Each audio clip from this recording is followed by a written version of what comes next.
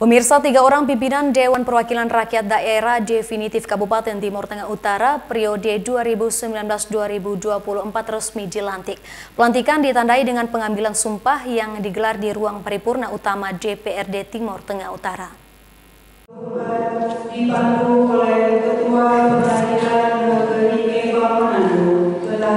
Setelah tertunda beberapa hari, tiga orang pimpinan lembaga Dewan Perwakilan Rakyat Timur Tengah Utara resmi dilantik.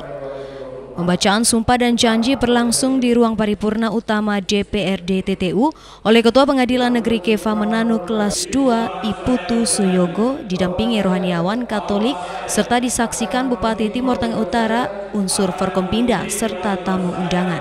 Sebagai ketua, sebagai ketua, sebagai wakil ketua, sebagai Dewan Perwakilan Rakyat Daerah Kabupaten Timur Tengah Utara. Pelantikan tiga pimpinan DPRD TTU sesuai dengan perolehan kursi terbanyak di DPRD, yakni Hendrik Bana dari Partai Nasdem menduduki kursi Ketua DPRD, Amandus Nahas dari Partai Golkar menduduki kursi Wakil Ketua 1 dan Yasintus Lapenaif dari Partai Hanura menduduki kursi Wakil Ketua 2. Usai dilantik, Hendrik Bana selaku Ketua DPRD TTU menegaskan akan bersinergi dengan pemerintah daerah agar bisa membangun daerah Timur Tengah Utara lebih baik tanpa mengorbankan rakyat.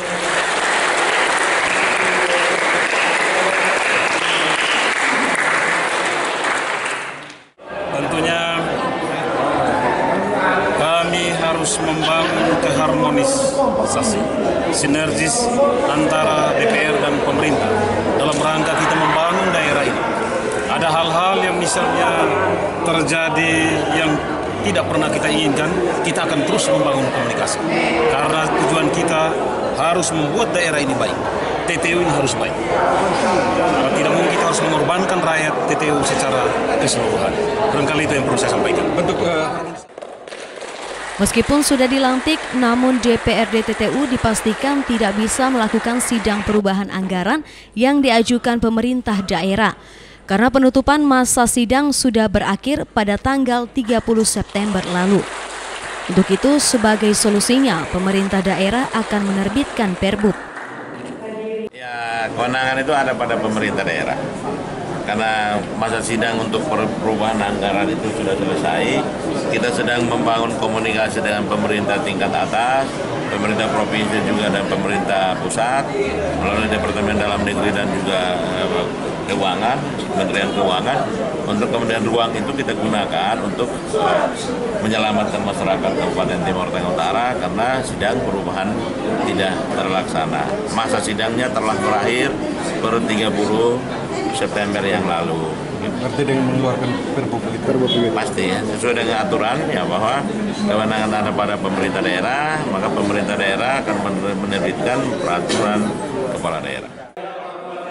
Pelantikan ketua dan dua orang wakil ketua DPRD TTU ini untuk masa jabatan 2019 hingga 2024 mendatang.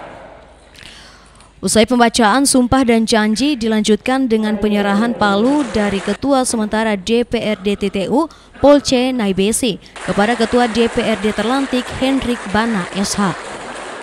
Dari Timur Tengah Selatan, Sefnat Besi, Tim Ain News melaporkan.